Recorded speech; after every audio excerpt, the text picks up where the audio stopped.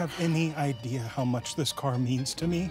She's a show car, and I'm taking her to a car show. Well, I wasn't invited.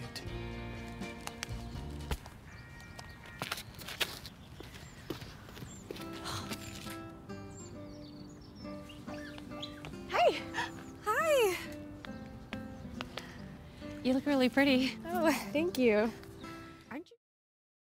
Unexpected piece and concept executed to great success.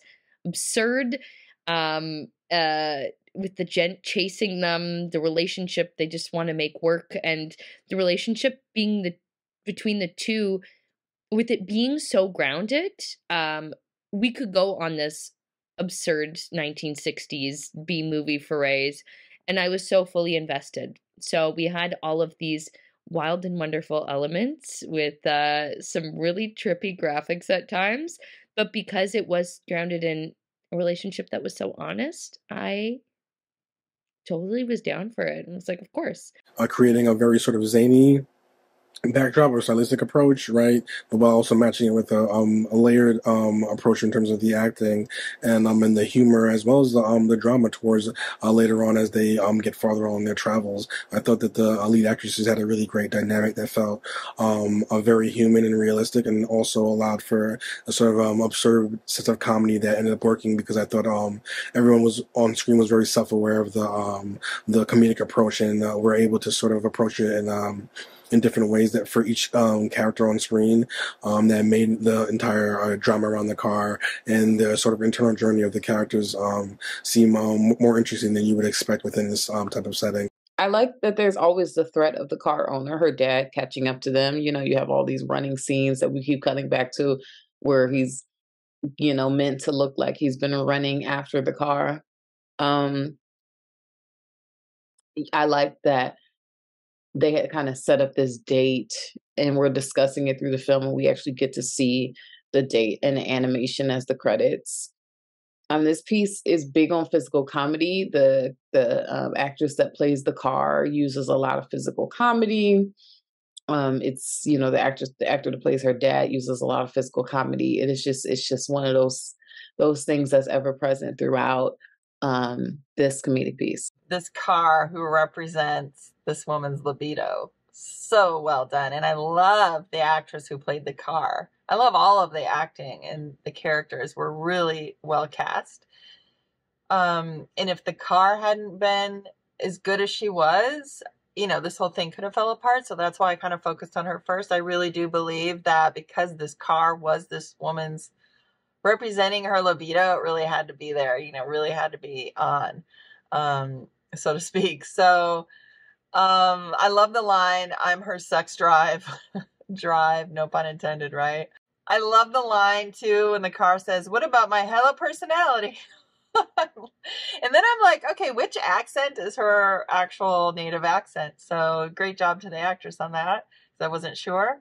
Um, just this was so creative, and you know, a car being somebody's libido really works. Didn't know if it was going to, but it really did. Great music usage too. Great use of the music. Not just great music, but great use of it. Great choices there. everybody was very believable. Um, I loved the idea of having Lenny's libido be kind of in the rearview mirror of the car, and then she can manifest herself. And her character, the actress who played Lenny's libido, was absolutely fantastic. I found myself laughing a lot about what she was doing. So I loved that.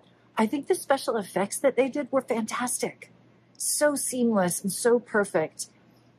One of the things that was very clever but very simple, the music that they added to it was so cool.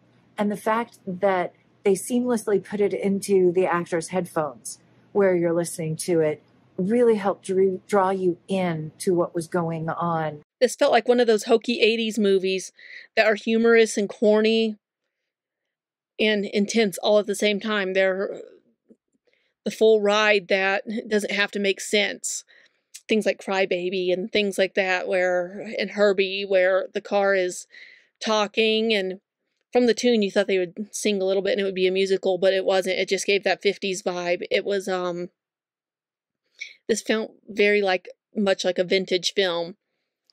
And it was just a fun ride. The filmmakers did a great job with the special effects.